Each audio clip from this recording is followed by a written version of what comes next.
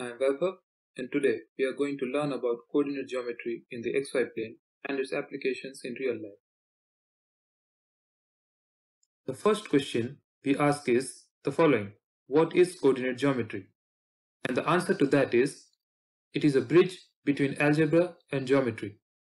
To make this idea clearer, we will look at an example. Let us say that we are given an equation which is y equals x plus 1. This equation gives us certain information. If x is 0, then y is 1. Next, if x is minus 1, then y is equal to 0.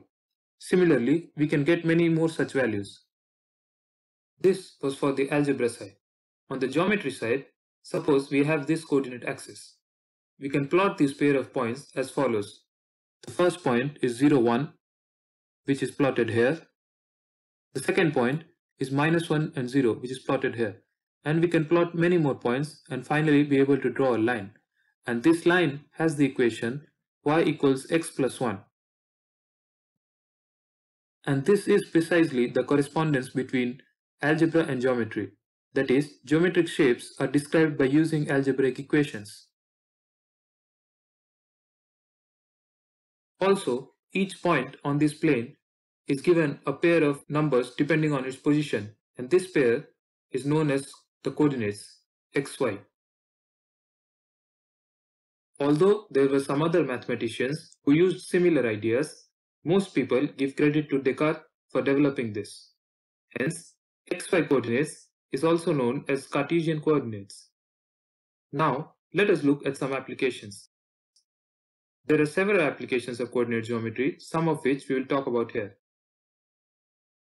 Firstly, it is used in GPS navigation, something that many of us use quite regularly.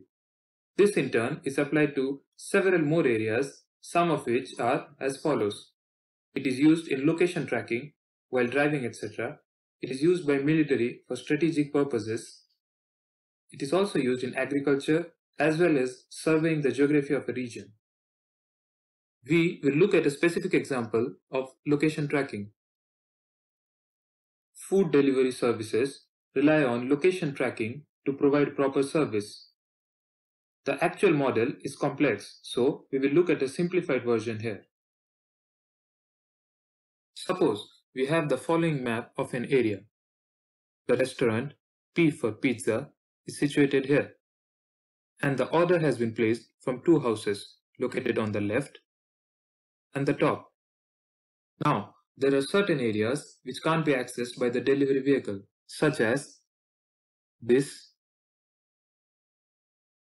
and this, as well as this. Here, information for each coordinate is stored by the system, and the system finds a path accordingly, which means we get a route which looks like this. And this completes the food delivery example. Next, let us consider the case of digital photography. Suppose we have taken a photo of this view. What does the camera do to store this image? The whole image is divided into points or pixels and this idea comes from coordinate geometry. What happens next? The color for each pixel is stored digitally by the camera. Hence, if you look at the current picture, then this point has black color stored, this has white and this has blue. And adding everything gives us back the whole photo. There are numerous other areas where coordinate geometry is applied, such as in software design, like drawing, or writing on the screen, which I am doing now. Hence, even making this video itself required coordinate geometry. It's also used in medical science for taking different types of body scans like MRI, CT, etc. Further, animation is possible because of coordinate geometry. Consequently, many video games and movies also make use of it. I hope you found the video interesting and learned some new things. Thank you.